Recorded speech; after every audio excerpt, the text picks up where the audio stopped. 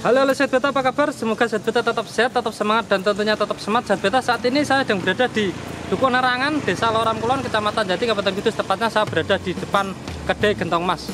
Kedai Gentong Mas ini terkenal dengan menu utama itu aneka masakan endok Sahabat. Kita akan melihat ke dalam, mungkin konsep-konsepnya kedainya gimana, dan menu utamanya itu nanti gimana, nanti kita tanya-tanya sama pemiliknya Sahabat ya.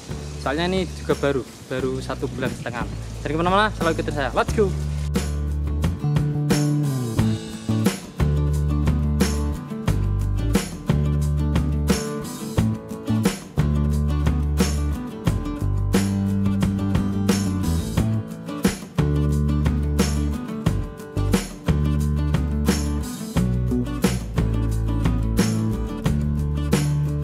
Dulunya jenengan usahanya apa, Pak? Tadinya itu konveksi bikin tas anak-anak. Nah, kena dampak corona satu tahun yang kemarin tuh udah nggak kerja lagi. Malah habis jual tanah, jual apa yang terus sekarang ini jual tanah sama rumah. Saya jual buat beli ini, bangun sini buat kuliner, istilah putar balik kuliner lah istilah gitu. Nah, jenengan di usaha konveksi selama berapa tahun, Pak? Dulu? Kurang lebih tahun 2020 sampai du- sekarang 2021. Eh 2000 sampai 2021. Berarti sekitar 20 tahunan. 20 tahun, gitu. iya. Pernah mengalami kesuksesan juga dong, Pak? Atau gimana itu waktu itu? Eh, pernah mengalami kesuksesan di tahun 2015 ke bawah itu enak lah istilah kerja itu enak ya.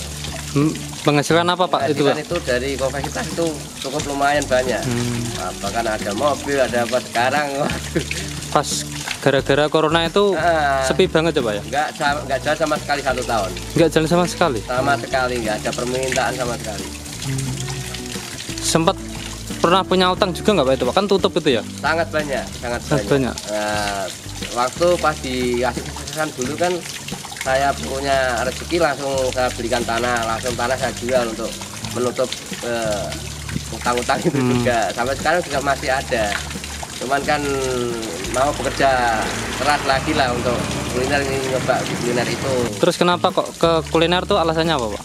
ya yang pertama ibu hobi memasak ya yang kedua itu kayak lihat dari orang-orang kelihatannya kok banyak yang sukses di kuliner Oh. Pengen cobalah itu Terus jenengan nyoba di sini. ya?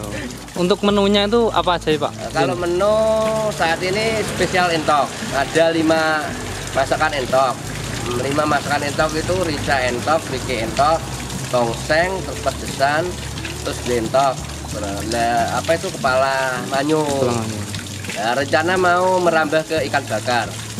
Ikan bakar misalnya kayak gurami bakar, terus nila, terus lele bakar itu. Selama ini peminatnya gimana, Pak?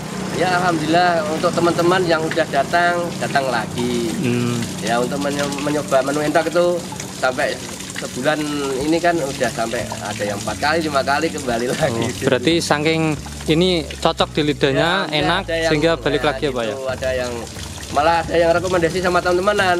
Oh, Oh, situ ya enak malah ke sini juga. oh sehingga bawa temennya gitu ya, Iya. Pak? Aneka olahan entok tuh kisaran berapa sih, Pak, harganya, Pak? Ya, sekarang itu 25.000. 25.000 ya? Segala macam entok itu. Hmm, Eh, di 25.000 terus yang lain-lain seperti minuman ya lah kayak umum desa lah gitu, Umum, gitu ya. harganya.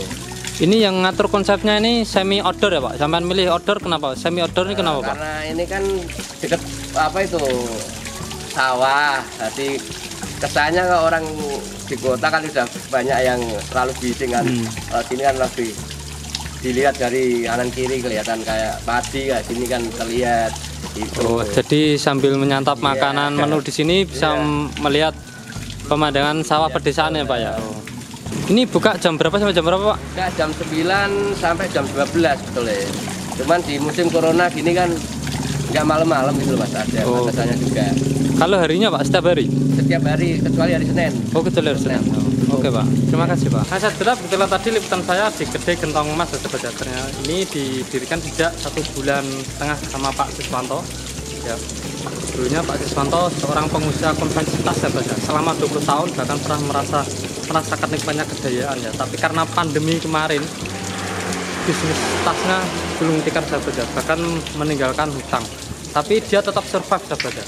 Ini ya dia memilih banting setir mencoba survive dengan bidang kuliner sahabat karena alasannya istrinya suka gemar masak dan pintar masak sahabat dan ini menu utamanya memang menu aneka aneka ini olahan entok sahabat dari suweke, tongseng dan lain sebagainya.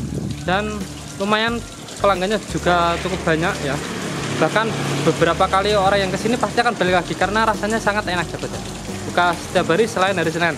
Buka mulai jam 9 sampai jam 12 malam sahabat semoga liputan saya ini bermanfaat dan bisa memberi inspirasi maupun referensi bagi teman semua. Bila sahabat suka bisa di subscribe, like, dan komen dan selalu nantikan saya di video-video saya selanjutnya karena kami bisa akan selalu memberi informasi yang unik menarik dan tentunya inspiratif bagi sahabat semua. Sampai jumpa